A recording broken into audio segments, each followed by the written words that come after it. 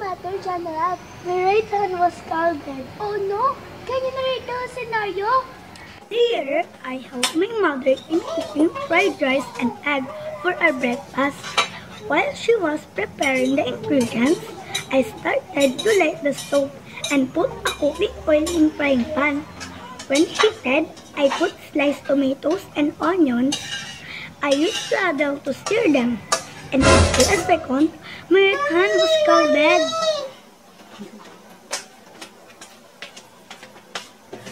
Oh no! How can you use your right hand in writing? How did this happen? You only use ladle in seeing the ground pork. What type of ladle did you use? Tomato ladle. Hmm, maybe the heat of the frying pan transferred to the metal ladle. What should we do now to avoid these kinds of accidents? Hmm. Let us meet after class to conduct simple science experiment regarding to the incident. Wow, I love science experiment. Let's go. Go.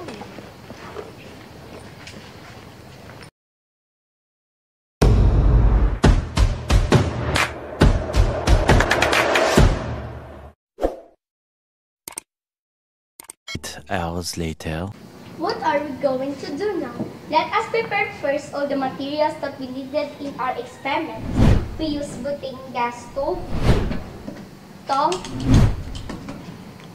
nails, margarine, plastic, cloth, and hose. We will also use hand gloves made of cloth for protection while performing an experiment. Donnie, kindly light the gas too. Okay, I will, Lakeisha.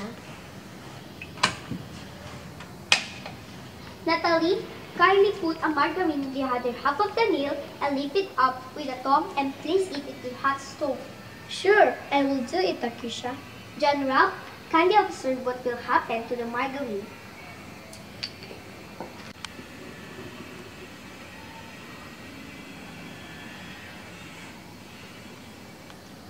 Uh, kindly tell me what happened to margarine at the other half of the nail.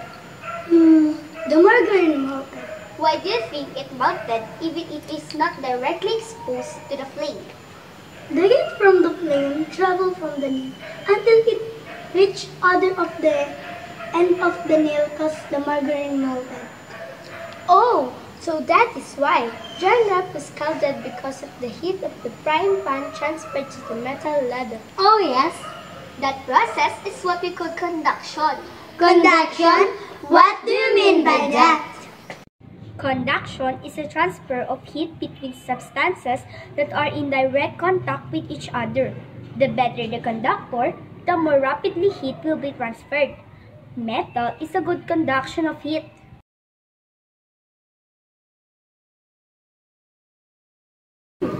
About these remaining materials like woods and plastics? Are they also conductors?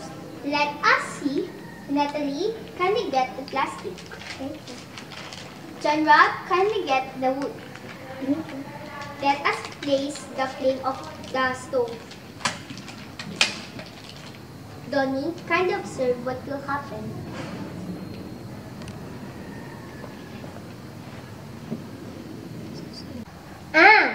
The wood burned and the plastic melted.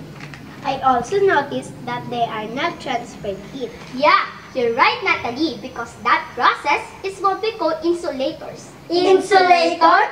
What do you mean by that?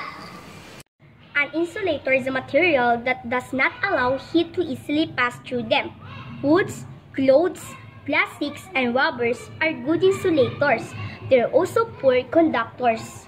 That is why we use ceiling in our roofs because it covers ourselves from the heat of the sun. And also, we always use hand gloves made of cloth to protect our hands while cooking. Now you know, John Ralph. I hope you learn your lesson. So next time, ask a help of your mother in cooking, okay? Yes, thank you so much, Akisha. Next time, I will be very careful.